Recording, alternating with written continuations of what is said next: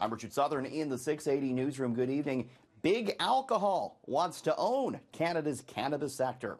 Constellation Brands, one of the biggest alcohol producers in the world out of the U.S., uh, makers of uh, Corona beer, Robert Mondavi wine, they're spending $5 billion to acquire a 38% stake in Canopy Growth, Canada's largest pot producer based right here uh, in Ontario. And the idea is that they're going to make uh, weed infused wine and beer. Greg Taylor is portfolio manager Logic Asset Management.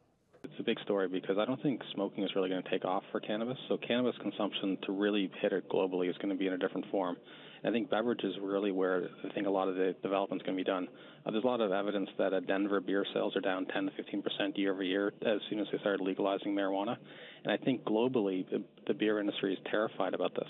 So I think all the big uh, beer and alcohol companies are looking at the Canadian marijuana space as an area where they can come up, do some R&D, and try and figure out how they can combine their products with cannabis to create the next big big product.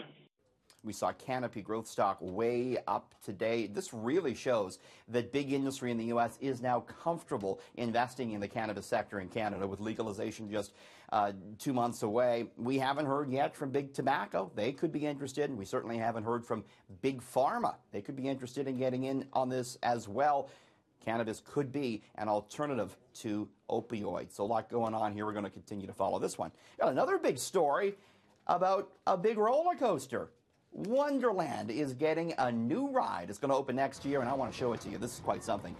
It's called the Yukon Striker, and it's going to bring 28 people at a time up some 230 feet in the air. And what's it going to do? It's going to dangle them with no floor on the car. It's going to dangle them right over the edge, holding them motionless for three seconds before, yeah, your dizzying plunge straight down 90 degrees down into an underwater tunnel that they built. This is the water by the vortex. So it's going to go right through the vortex underneath the water. This is going to uh, be the uh, fastest, longest, tallest so-called drop coaster in the world. And uh, it comes as uh, a Wonderland and its parent company, uh, Cedar Fair, looks to boost their bottom line. Cedar Fair stock is down 18% on the year. Wonderland wouldn't tell me what they're paying for this, but they did say it cost significantly more than the 28 million that they shelled out for Leviathan, the last big coaster they built in 2012. This is not the only news out of Wonderland. They also said they're going to open through Christmas starting this year for Winterfest, they call it. And they're going to have a few rides open, not all of them,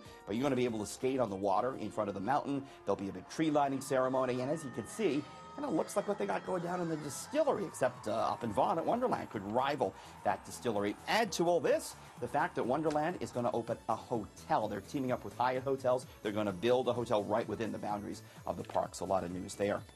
Got some news as well in on Twitter and the service suspending the account of far right conspiracy theorist Alex Jones, but suspending him only for uh, a week. New York Times reports that uh, Jones tweeted a link to a video calling for supporters to get their battle rifles ready against the media. Facebook, Apple, YouTube, Spotify, they've all taken down Jones's content permanently. Finally, we have the uh, Girl Scouts out with a new cookie, and they're right on trend in the foodie world.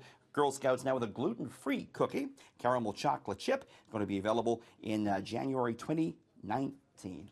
In the 680 newsroom, Richard Southern, City News.